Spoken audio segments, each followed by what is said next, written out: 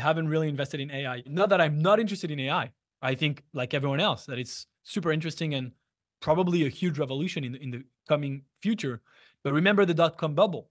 The first companies, the first few months, everybody rushed into it like idiots, sort of. Like crypto, crypto in 2021. Exactly, like crypto. And then everything went to zero. All the projects, all the companies. And it's only after the first bubble that the big companies came, the Googles, the Amazons, the blah, blah, blah, the eBays of the world.